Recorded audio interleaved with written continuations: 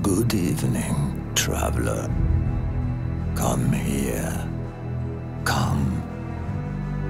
Don't be afraid. Sit. Share my fire. Drink my beer. I have a story to share. It must be passed on before I leave. So, sit, my friend, and listen. You have to know about this old and powerful forest, and about the mighty creatures who live in it. A long time ago, a ferocious battle was waged not far from here.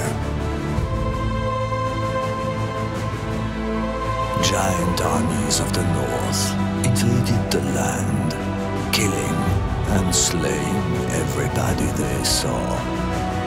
My people were there, struggling to survive.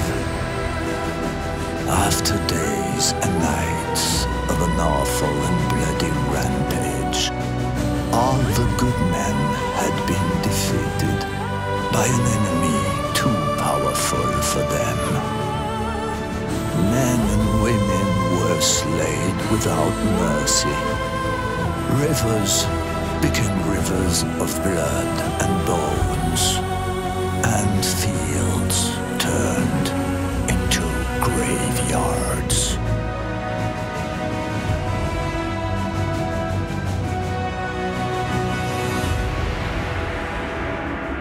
Now, listen. Listen. Here is the tale that I must share with you.